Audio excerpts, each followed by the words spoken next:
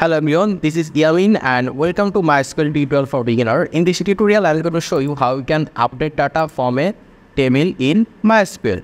So in order to update data, you need to say here update and then our table name which is employees. Then we need to say here set and let's say we want to change the salary for the uh, Sonia whose ID is 6. So we want to change the salary or update the salary. So we are going to say here salary equal to let's say it will be $200 25 cent. So we have to update the data for Sonia. So we need to mention something so that we can update the salary for Sonia and the better way to update any data is by using ID. So here you can see employee ID. So we are going to say over here employee underscore ID equal to 6.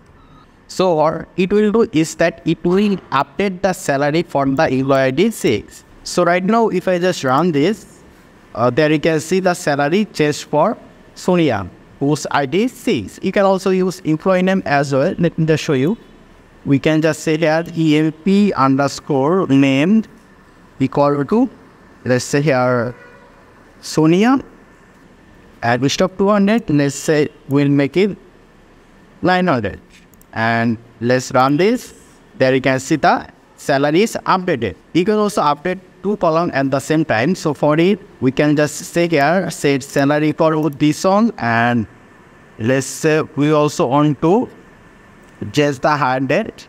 Let's say here hire underscore date equal to and it will be let's say 2029 month 7 date 303 so and instead of employee name we are going to say here employee underscore id because in real life whenever we want to update something we use id because id is always unique. So we'll say id 6 so here you can see okay instead of 900 let's say here 800 so right now, if we just run this, the salary will change and also hire date will change as well. So let me just run it and there you go. And whenever you want to update something, make sure that you are using the where clause or where condition. Because if you do not use the where condition, then all those salary and hire date will get the same data. For example, uh, let me just do this where condition from here and salary as well and if we just say here update employee set hire date this date. So it will make all the column have the same date. And we also need to end it with a semicolon so right now if i just run this there you can see all the hire date is same right now. So do not do this. Always use while condition while you want to update the data. Okay?